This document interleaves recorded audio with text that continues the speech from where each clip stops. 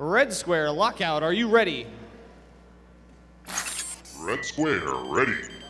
Blue Square, Eva, are you ready? Blue Square, ready. Three minutes on the clock. Three, two, one. All right. Meet in the middle of the arena. It looks like Lockout gets the first wedge, and then Eva gets the second. All right, so they're pretty evenly matched.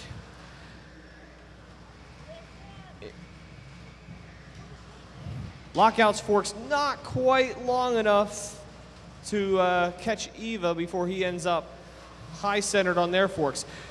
Lockout currently stuck, but it doesn't look like Eva can do much with him. There, thank you for separating yourselves.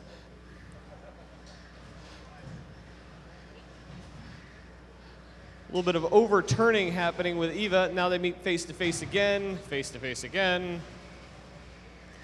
So, looks like Lockout's wheels are coming off the ground every time he goes up onto the forks, unable to push, but at the same time, looks like the forks of Eva get stuck in the Two ground every time. Lockout climbs up on him. So he has a hard time pushing him to the wall. Manages to pull it off that time.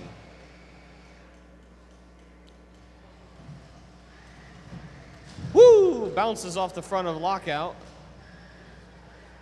Interesting. Lockout upside down now. That's not good news. I'm sorry. Eva upside down now. Not good news for Eva, but Lockout just stopped moving entirely. Oh. There we go. Frees himself. He had ingested some plywood. All right. Now, Eva's forks, ineffectual when upside down.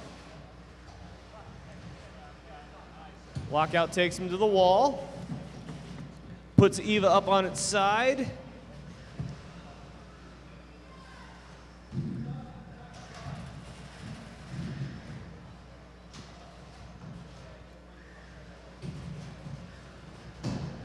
It's like jujitsu. I know something's happening, I just don't really understand it.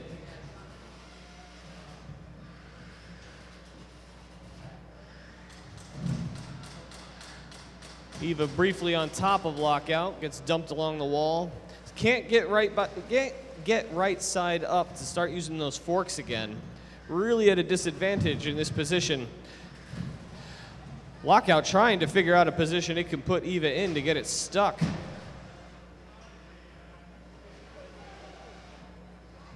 Where's the lift? Come on, we're looking for the lift. Nope. Couldn't do it.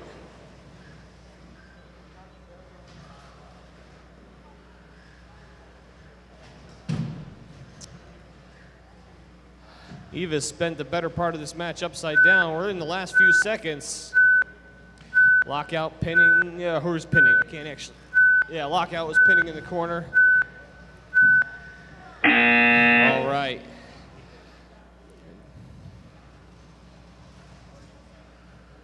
Your winner by judge's decision is a lockout.